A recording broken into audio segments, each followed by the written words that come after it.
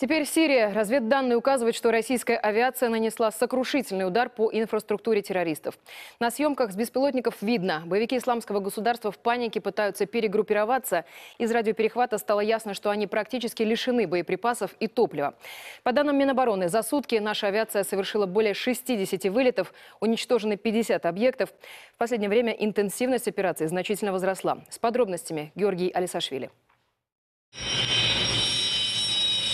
На российской авиабазе сейчас горячая пора. Шасси только что приземлившихся самолетов сразу же заливают холодной водой. Тормозные механизмы приходится охлаждать вручную, чтобы как можно скорее подготовить машины к новым вылетам, которых становится все больше. Рост интенсивности боевых вылетов нашей авиации связан со значительным увеличением количества выявленных средствами воздушной и космической разведки наземных целей по всей территории Сирийской Арабской Республики. Сразу в нескольких провинциях Рака, Хама, Дамаск и Алеппо боевики отступают. И такая передислокация сил боевиков, которую фиксируют наши беспилотники, часто похожа на бегство. В Минобороны отмечают основные и самые крупные цели инфраструктуры ИГИЛ в зоне действия наших самолетов уже уничтожены. В районе населенного пункта Квазер, провинция Алеппо, самолетами Су-24М нанесен удар по базе военной техники боевиков.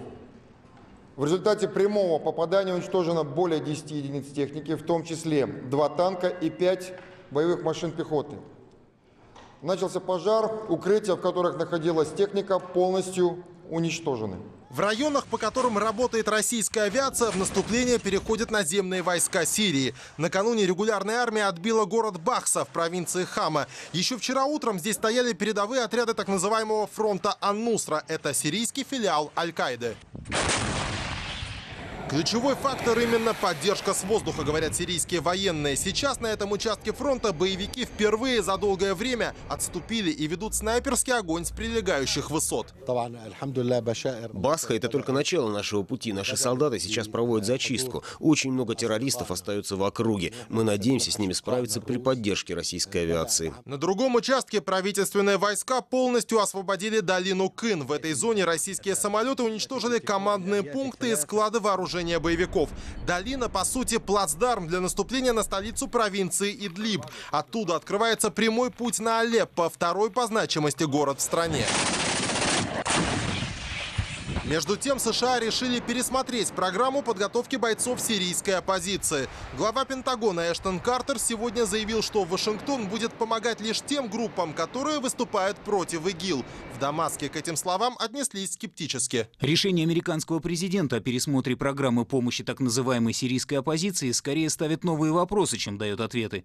Прежде всего, нельзя забывать, что у так называемой сирийской оппозиции только стилистические расхождения в образе жизни и взглядах по сравнению с ИГИЛ А в остальном они такие же головорезы, просто меньше красуются перед телекамерами в черных балахонах. В свою очередь, Россия открыта для сотрудничества со всеми, кто хочет бороться с террористами в Сирии. В Минобороны готовы координировать боевые вылеты наших самолетов с операциями сил западной коалиции. Минобороны России подготовлен проект совместного межведомственного документа по мерам предотвращения возможных инцидентов в воздушном пространстве Сирии между военными самолетами России и коалиции, возглавляемой Соединенными Штатами Америки. Данный проект был оперативно направлен по установленным каналам связи американской стороне. Ожидается, что стороны обсудят этот проект в ближайшее время. Консультации пройдут в формате видеоконференции представителей оборонных ведомств России и США. Георгий Лисашвили, Максим Семин, Первый канал.